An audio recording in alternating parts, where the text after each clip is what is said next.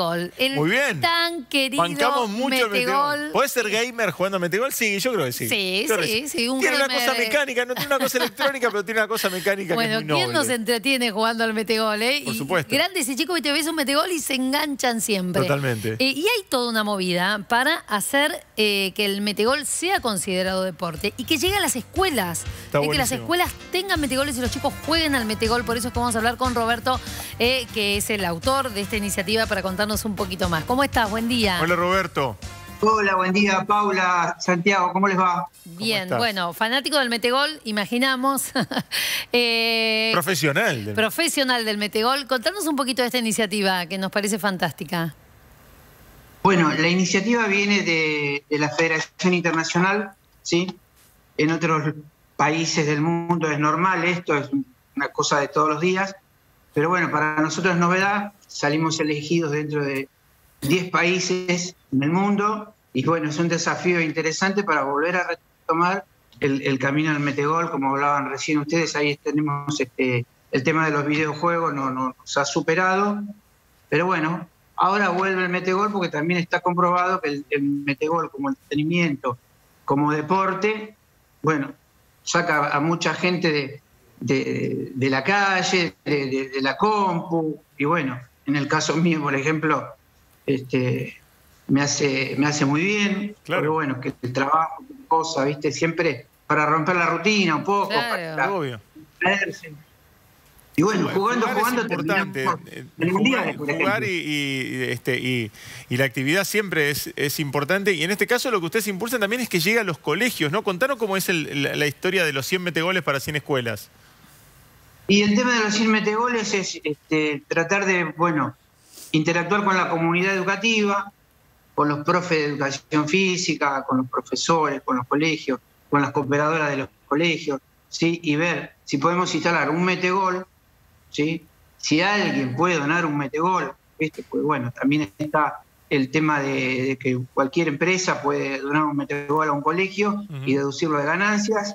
Entonces, bueno, ahí ya tenemos, este, digamos, la- el financiamiento sin pedir subsidios, sin pedir nada. Y si la comunidad educativa se involucra, bueno, nosotros vamos ahí, preparamos a los profes, este, capacitamos a la gente, vamos a dar alguna charla.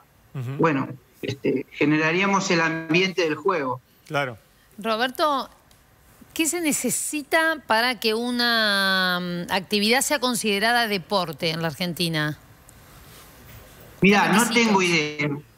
Eso no te lo puedo responder hoy. La verdad no te lo puedo responder hoy. Pero bueno, eh, es- estamos este, abocados a que de movida se visualice el metegol, que vuelva a resurgir el metegol y que la gente lo vea no solamente como un entretenimiento, sino como un deporte.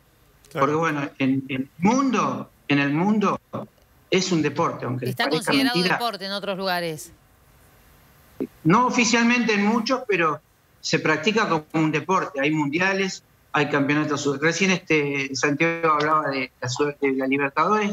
Bueno, nosotros tenemos Copa América, Claro. tenemos copas internacionales, mundiales. El año que viene hay un mundial en Francia.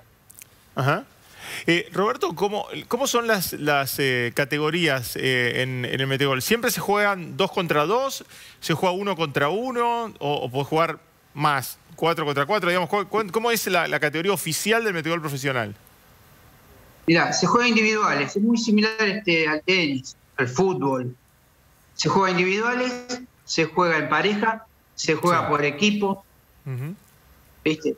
Tenés diferentes categorías, desde juveniles, de, de senior, por ejemplo, en mi categoría. Claro, por edades. Tenés men, menores de 50, mayores de 50. Pero mayores habitualmente de la, la- 60. la práctica más común es los, lo- los dos este, palos del defensor y el arquero y los dos del mediocampo y, y el ataque. ¿Se juegan dos contra dos? Claro.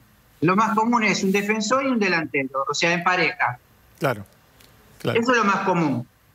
Bueno, que es lo que lleva a socializar, ¿no es cierto? Que es lo que eh, a lo que apuntamos, ¿no? Llevar un, un metegol a un colegio, que bueno, se junten dos chicos, Claro. este, y compitan con otros dos, jueguen, se diviertan, se entretengan.